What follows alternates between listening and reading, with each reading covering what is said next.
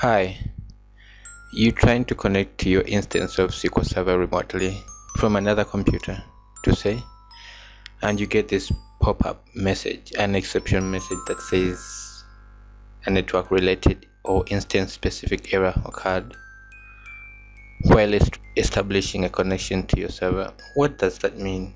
Simply, it means your computer or your server you're trying to access remotely was not configured to be accessed remotely. So we're going to take the steps to, to to allow that instance of SQL Server to be accessed remotely. Okay start by running SQL Server Management Studio and let's connect to the instance of SQL Server that we want to configure to be remotely accessed on your left hand side right click on the connection and choose properties. Once the dialog box appears choose the connections option. Make sure that allow remote connection to the server is checked as it is done so. It should be checked like that and click ok.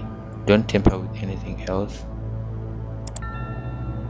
Okay now when that is done close close your management studio. Let's go on and open a SQL Server Configuration Manager. Open the Configuration Manager's admin.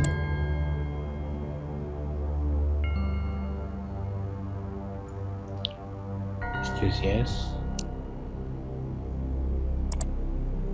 Okay let's go to SQL Server network configuration. Let's choose the instance that you want to configure.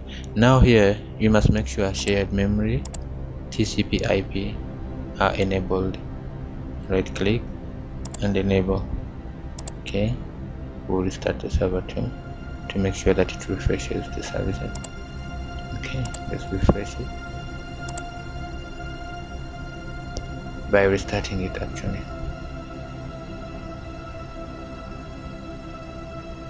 taking a bit of time. Okay it's fine. Okay there we go. Now close it again. One last tab. Start control panel. Let's go to the firewall and enable.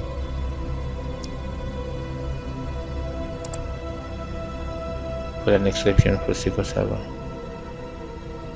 Should be inbound rules. Let's add a new rule should be a port click next. TCP IP to be 1433 click next. Should allow connection. Next. It should be domain. Uncheck this.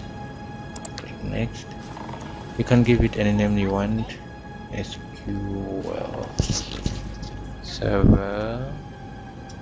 1433 hot click finish. There we have it. So now you're ready to access your instance of SQL Server remotely.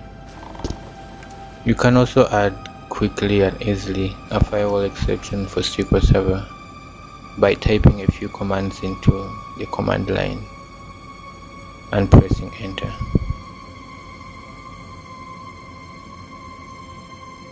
okay. You can pass in these commands into the command line. Once you're done press enter and everything will be fine. Thank you for watching. Goodbye